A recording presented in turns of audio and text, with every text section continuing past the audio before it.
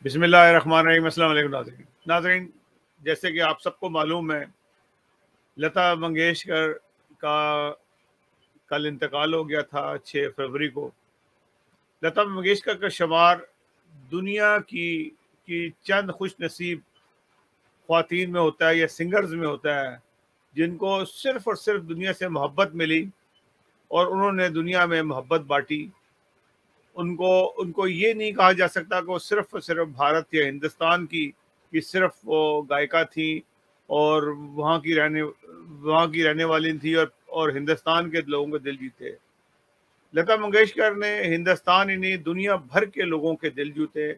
पाकिस्तान में भी उतनी मोहब्बत उनको मिली। लोग उनसे करते थे जितना के हिंदुस्तान के लोग करते थे। क्योंकि उनके अंदर कोई ऐसा नेगेटिविटी कभी भी आज तक उनके इंटरव्यू से उनकी बातचीत से, से नज़र नहीं आया। बहुत छोटी उम्र की से उन्होंने तेरह साल की उम्र में में उन्होंने गाना शुरू कर किया और उसके बाद कामयाबियों के सफ़र शुरू हो गए।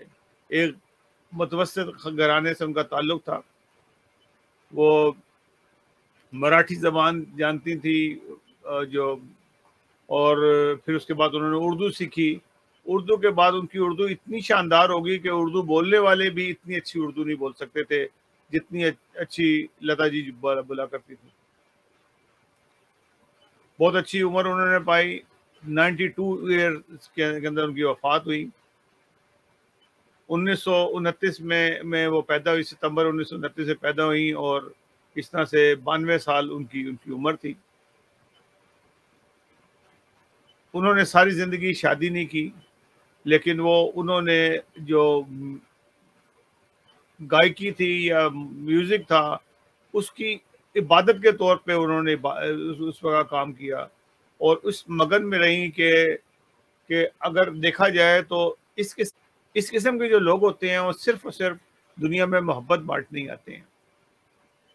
एक माह से वो वो हॉस्पिटलाइज थी और इंटेंसिव केयर में थी, उनको पहले नमूनिया का का, की शिकायत थी, फिर उनको कोरोना वायरस ने आके जकड़ लिया, जिससे उनकी, कि कल उनकी जो सी है, साढ़े ग्यारह बजे करीब उनकी वफात हो गई।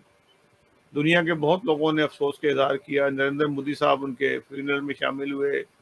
तो सचिन तेंदुलकर गए वहाँ पे, शाहरुख खान गए, जावेद जावेद अख्तर को भी देखा गया वहाँ पे, और बहुत सारे लोग जो सियासी लोग, खेलों से फनकार उनके उनके उस फ्यूनरल में शामिल हुए।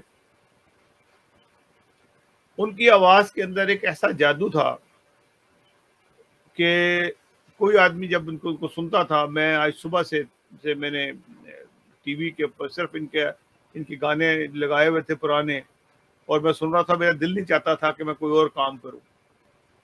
और मैं मैं हैरान था कि कि ये ये सिर्फ़ और सिर्फ़ खुदा ताला की देन होती है ऐसे लोगों को कि कि जिस तरह से उन्होंने काम किया और वो हर एक की, वो ऐसा नहीं था कि वो वो कभी चाहें कि मेरे ही नाम हो।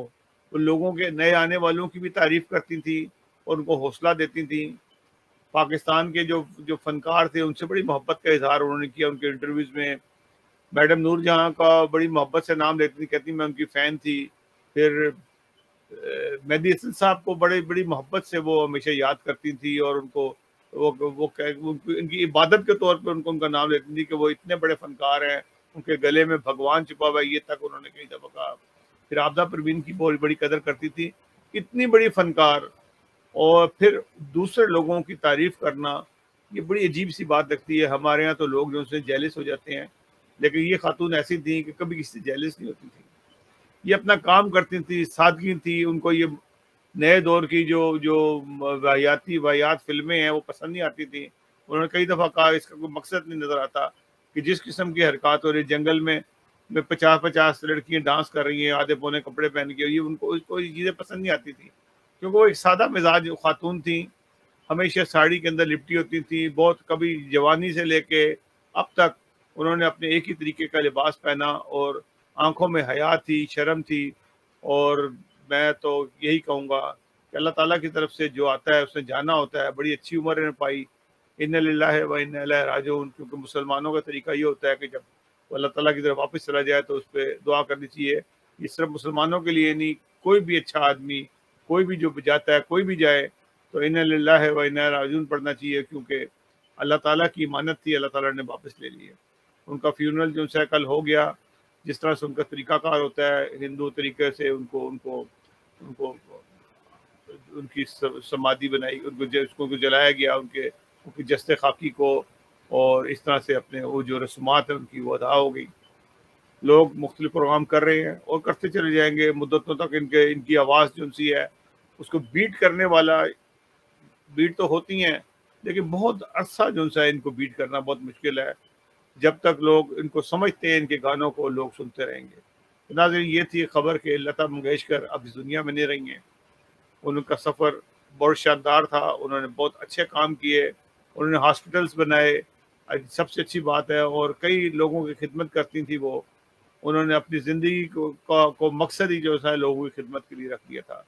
नाजरीन इस दुआ के साथ कि अल्लाह ताला उनके उन, उनकी मकफत करे उनके गुनाहों को बख्शे और उनकी आने वाले जो है लोग हैं, उनको उनके रास्ते राय रास्ते उनके रास्ते पे चलने की तोफीक दे। नाजीन प्रोग्राम को इजाज़त दीजिएगा प्रोग्राम से। अल्लाह हाफिज़ नासिर। अल्लाह हाफिज़।